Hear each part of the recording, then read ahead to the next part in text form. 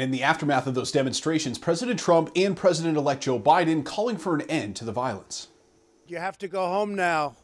We have to have peace.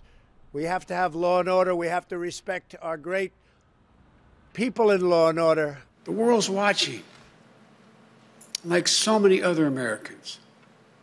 I am genuinely shocked and saddened that our nation, so long the beacon of light and hope for democracy, has come to such a dark moment.